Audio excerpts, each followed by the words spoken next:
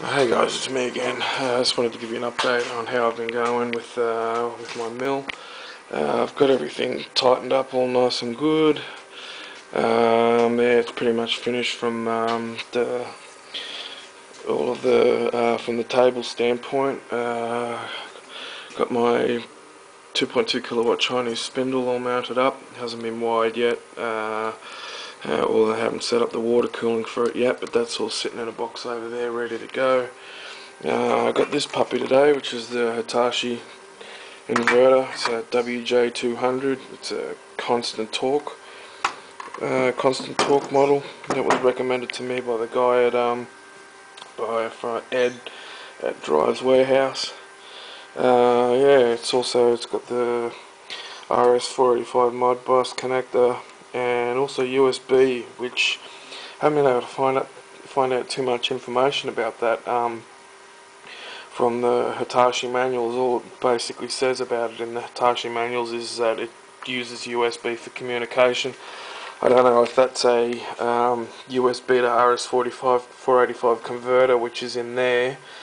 Um, it may be. So uh, I have to do a little bit of research. I might talk to Ed from Driver's Warehouse about that, see if he can shed some light on it. But if that's the case, then that's gonna, I'm not gonna have to worry about a RS485 to RS232 converter, which will make things a little bit more simpler and eliminate all the moving parts. So here's the Gecko drive all set up. Uh, my battery's about to run out, so I'm gonna make this quick.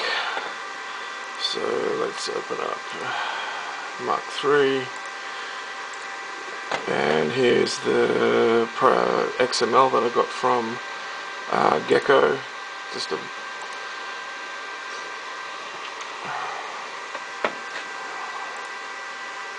reset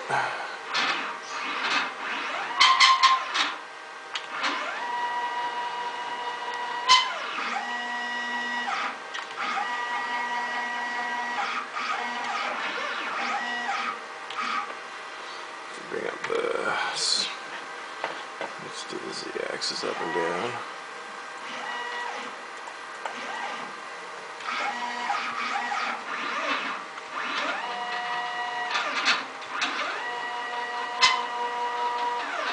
And there we go. All up and running.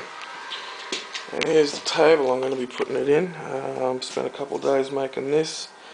Uh, got a comms cabinet down here which I'm going to put everything in bit dusty at the moment. I just finished building it, so it's going to house the computer and everything. And yeah, I'll get some more videos up soon. Thanks for watching.